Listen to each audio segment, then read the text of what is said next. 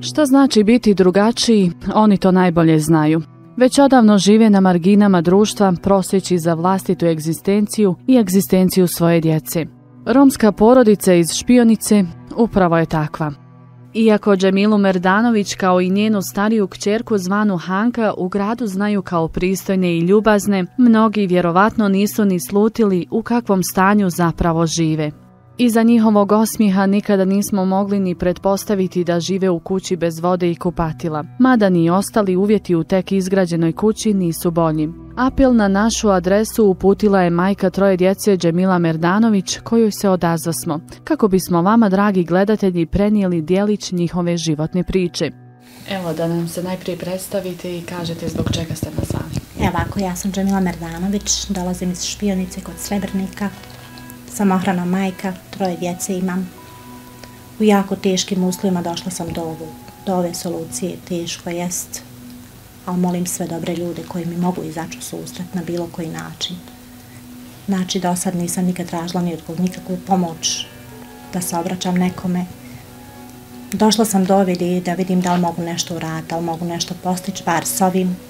Cijeli Srebrnik zna da ja prosim pa dijete svoje školujem, sedmi razred pohađa ovdje u Srebrniku struje nemamo ovdje, vode nemamo. Borimo se, to mi je najpreče, znači, ne tražim mnogo od ljudi, znači, samo da mi neko izađe u susret za struju, za vodu. Korona jest, nema se od čega živjeti. Situacija je jako teška. Imam drugi brak, muž je prihvatio svu moju djecu.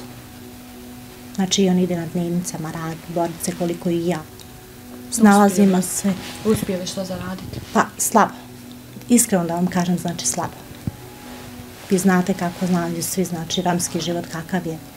Sa starim otpadom je jako teško sad momentalno i zaraditi. Ja prosim po ulici, to znaju svi da mogu svoje dite školova, da mogu nešto osnoviti. Puno ima što je fali i pribora i, i zimske opreme što se tiče djeci za školu, nema šta ni na noge, nema šta i u helankicama ide. Nekad Boga mi bez užine i bez...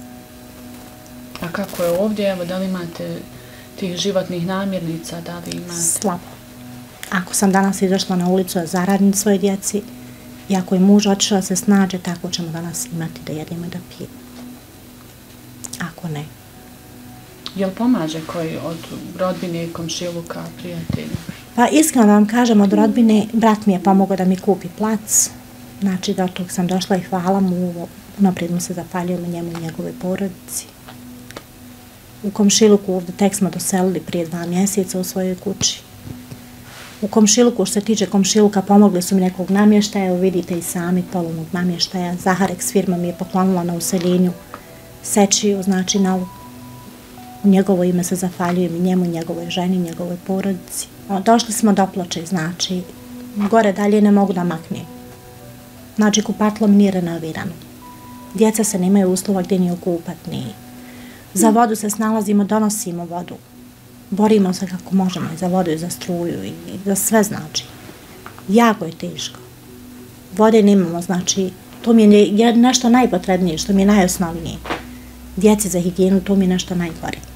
Evo što se tiče vode, onaj, je li to samo zbog toga što nije riješeno ovdje, zato što su novi place? Pa nema je ovdje još niko iskreno, nijedan još priključak nije na ovom placu ovdje, još 14 komšija su ovdje novih, niko još nije ništa regulisao za vodu. Predali su do opštinu, sad kad će biti, koliko će to da potraje, to samo Bog zna. Vi rekao ste malo prije da niste tražili pomoć ni od kog, no jeste li uh, upućivali zahtjev možda? Ovaj, ja sam nešto dole u opštini kod nas u Srebrniku predala zahtjev, još ljetos mm -hmm. predala sam gore u opštini, nisu mi još ništa odgovorili, ostavila sam i broj telefona i sve podatke, tako da mi još niko ništa nije javio. Isto tako sam nazvala i romsku organizaciju Tuzli Neđave i Usića. Predstavila sam se, zna dobro ko sam. Rekao mi da Srebrnik ne pripada njegovom. Da mi on ne može ništa pomoći. Da se snalazim dalje. Kako sad u ovom periodu? Evo, da, li, da li se može išta zaraditi? Da li ima... Pa, vjerujte da je teška situacija svima, pogotovo sad kako je ova korona nastala. Znači, prije korone jeste, u koroni su mi isto moji prijatelji iz Srebrnika pomagali prehrambenim artiklima i njima se svima zapaljuju. Znači, donosili su koliko su mogli, pomagali su, davali su. plaćali su mi kiriju. Ne mogu da kažem da nisu, jesu, pomagali su mu kad mi je bilo najgore, kad mi je bilo najpotrebnije.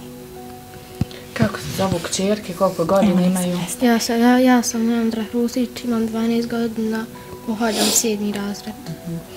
I šta tebi treba ovako za, za školu? Treba mi zimska oprema, nemam obuću, nešto mi od knjiga fali i od uh, pribora.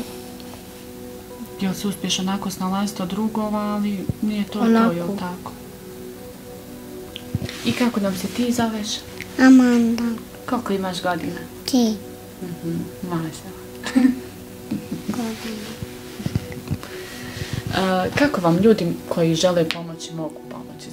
Da li da vam donesu na vašu adresu, ne znam, prehrambene namirnice, uh, materijal, šta, šta vam se Pa treba? najpotrebije mi bilo da mi se osnuje kupatilo, znači i voda, bar tu, za početak.